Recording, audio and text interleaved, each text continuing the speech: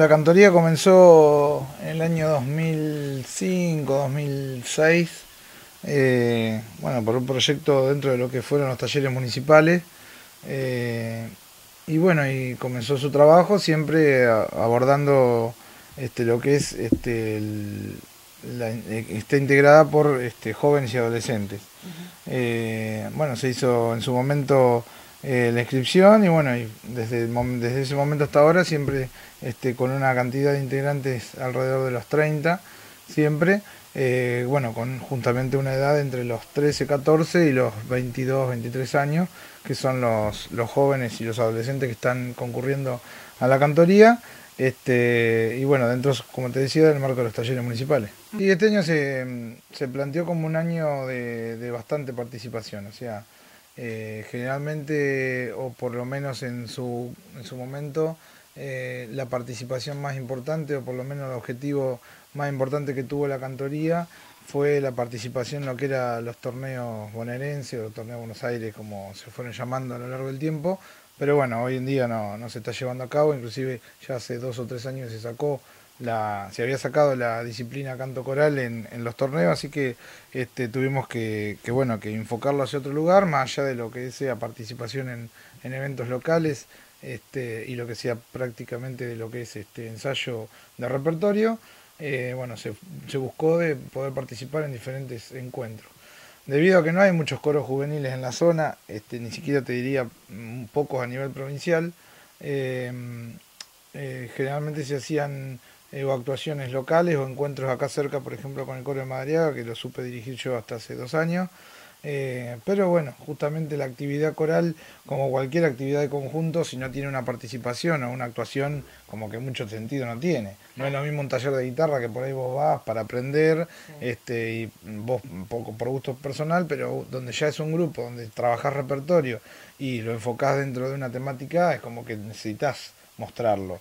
Eh, es distinto al canto individual, por ejemplo.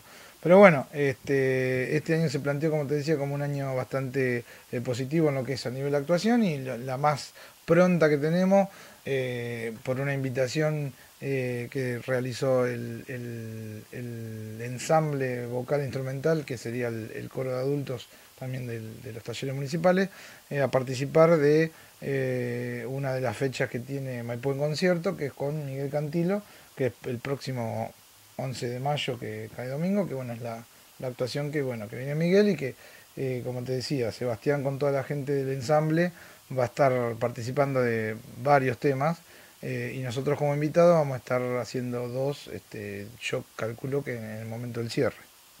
Así que ya está en meta ensayo, ¿no? Sí, sí. No falta nada. No, no falta nada. Comenzamos, ya te digo, los talleres comenzaron todos en abril, así que bueno, estos días metiéndole bastante ensayo, inclusive agregando ensayo este, que nos, nos agarraron dos este, feriados, nosotros ensayamos jueves y viernes, pero bueno, ahora tenemos otro, pero bueno, le hemos, este, con la buena predisposición de los chicos también, eh, de juntarse a ensayar igual, por más que sea feriado, Así que bueno, este, como vos decías, metiéndole bastante pata, por decirlo de una manera, con los ensayos para llegar este, y poder este, estar presente con las dos canciones. Si no se llega, estaremos con una, pero bueno, yo creo que vamos a llegar, una ya la tenemos prácticamente cocinada, así que nos queda... ¿Cuál es o es sorpresa?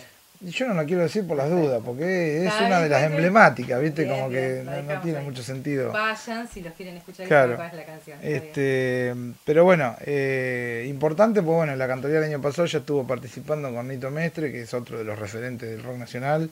Este, por ahí los chicos conocían más las canciones de, de Sui Generis con Nito que, que estas de, de Pedro y Pablo con, con Miguel, pero bueno, este eh, uno hace un poco de hincapié en que las escuchen por eh, lo que significaron esas canciones para la época eh, y la trascendencia que tuvieron a nivel musical y, como, como este estandarte de lo que fue la música de protesta en esa época y también este, lo que significan también ellos como músicos y, referentes del, rock nacional, ¿no es cierto?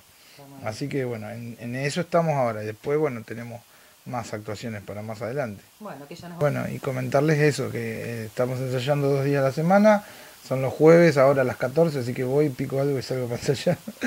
y todos comemos de pie, no te preocupes. Está bien, está perfecto. Y después los viernes este, eh, a la tardecita, y bueno, y ya te digo, si llegado el momento, si necesitamos algún ensayo, siempre se agrega alguno más, este, más para este tipo de fechas que, que hay actuaciones programadas. Bueno, muchas